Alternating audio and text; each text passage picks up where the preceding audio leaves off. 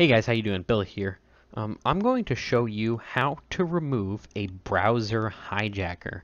Um, it is probably one of the most common, so to say, viruses that exist, uh, you know, in the internet world.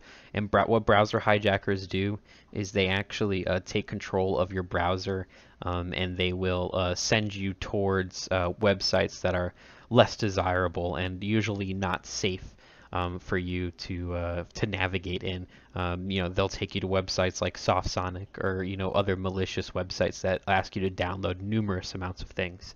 I'm going to show you here on on Google Chrome where to go to actually uh, delete a browser hijacker. I'm going to show you on Google Chrome, and I'm also going to show you on Microsoft Edge.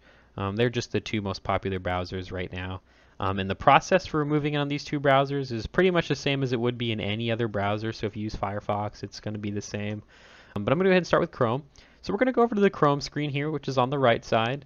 And those three little dots in the right-hand corner, I'm going to go ahead and click on those three little dots in the right-hand corner.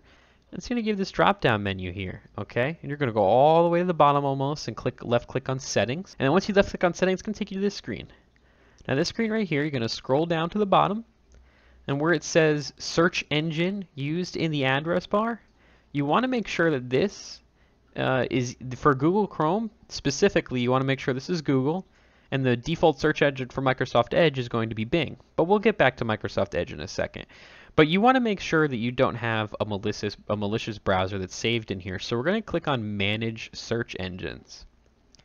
And if you look in here, you can see I have some stuff that I visited here. My, it also, it's going to show you some, you know, websites or other search engines that you've used uh, within the browser as well.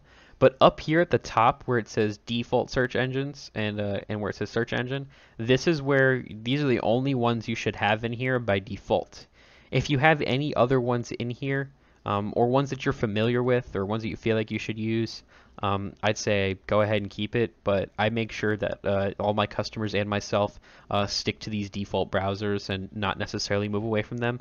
Google, more specifically, is probably the best one out there, and it has been for a very long time.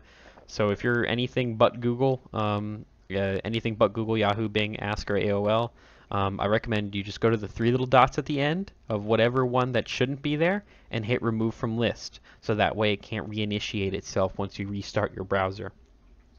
And in some very rare occasions, you might have to delete Google Chrome and reinstall it. But we're going to try and avoid doing that because I know most of you probably have bookmarks that you have on here that you don't want to lose. So we're going to avoid having to go through that process. The next thing you want to do, also to uh, the secondary to the uh, browser hijacker changing your search engine, is that usually they'll also change your home page or what page opens up in the beginning. You'll see here I don't have a home page. I don't use home pages. Um, so where it says add a new page, I'll just type in something like Kadaza, Kadaza.com.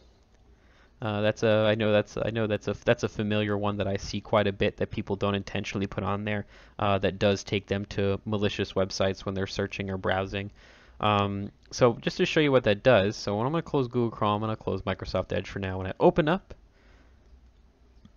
when I open up Google Chrome, it's going to take me to this. This looks uh, very generic if you're not, if you don't frequently work with computers. This looks very generic. This looks very normal. Um, but in retrospect, this actually is a browser hijacker, and it has changed your homepage for you. And this is where it's now going to take you to the websites that it suggests rather than what Google suggests, which is a public search engine, whereas this is uh, managed by private organizations. So I'm going to go back down to settings again, same exact way we did, three little dots in the corner. Little drop down menu, very easy. Three little dots next to where it says uh. I'm just using this website as an example. Um, and then I'm just going to go ahead and hit remove here. And now your browser hijacker is gone. So I'm going to go ahead and close it all out. We're going to open up Google Chrome again. And now you can see we're just back to the standard Google page, which is what it should be. You know, Google's a standard search engine, and we don't have uh, anything opening up uh, or changing the home pages uh, to, to uh, force you to search in specific locations that you're not looking for. So that's how you do that in Google Chrome. So I'm going to go ahead and I'm going to show you how to do it in Microsoft Edge. So I don't use Microsoft Edge too much, so we're going to have to look it up in the uh, search engine for me here. It's the exact same thing, except the dots are in a different direction. So we're just going to go to the three little dots here. And then we're going to go all the way down to the bottom, hit settings. And you're going to pretty much have all of your settings right in here. And we're going to go to view advanced settings. So right there where it says change search engine is what we're going to be making sure is on Bing. So by default, you should only have Bing. So if you have other ones on here, if I mean if you choose to add one, I'd say add Google. I wouldn't use any other search engines really. But like I said, you know, Google, Yahoo, AOL. Um, there's some things that mimic Yahoo, so I've just kept my customers and myself away from Yahoo for a very long time because there's some things that have Yahoo in the name that aren't actually Yahoo. So just stick, make sure it's www.bing.com or .aol, AOL.com or Google.com. Um, but Bing is is the default. If you see any other ones on here that you don't use, go ahead and hit remove so that when you're searching for things in the same manner as Google, or Google Chrome, you're not taken to these malicious locations. Also, as far as the uh, as far as the home page goes, let's go back and take off advanced settings. So we're going to go here where it says Open Microsoft Edge with, and see where it says Start Page. That Start Page is just going to be the default page for Microsoft Edge. That the start that's what the Start Page setting is.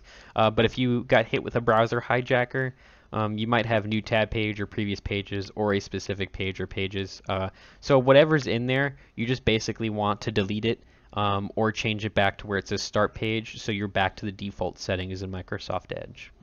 And that just about covers it for getting rid of a browser hijacker. Thank you for watching.